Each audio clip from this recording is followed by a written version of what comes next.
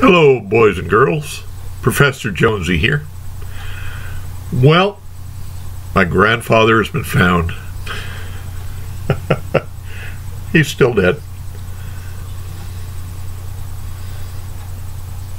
Yep. Chad Yarbrough, Yardism, figured out when he was born. It was October 17th, 1882. He was born the same year that uh, Jesse James was supposedly killed. And there's some evidence that Jesse James lived on after that. Long story. Anyway, he grew up in an interesting time. Uh, he died December 31st, 1974.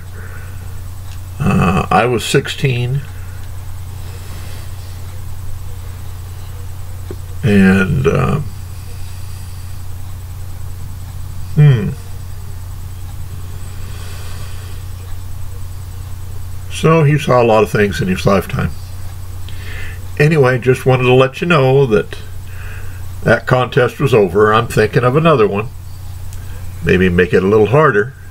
That was easy, easier than I thought. But anyway, I sure appreciate you turn, tuning in and uh, watching me. And uh, I'll be back real soon.